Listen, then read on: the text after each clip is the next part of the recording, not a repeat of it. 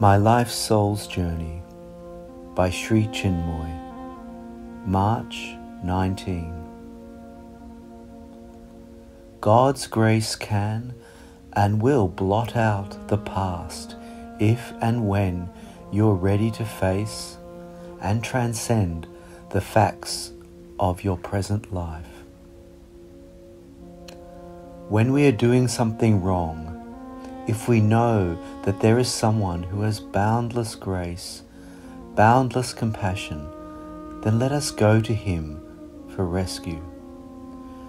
But we also have to understand consciously that we should not do things that are wrong because the law of karma, the law of action, will call on us.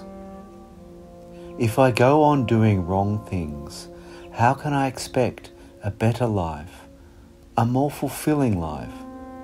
No, I have to pay for it. Every moment, God has given me the chance either to do the right thing or, if I make friends with ignorance, to do the wrong thing. It is up to me.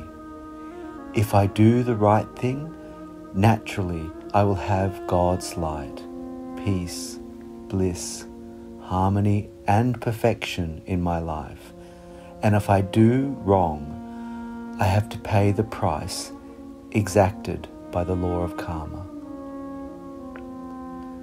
No experience is free in the outer world. No realization is free in the inner world.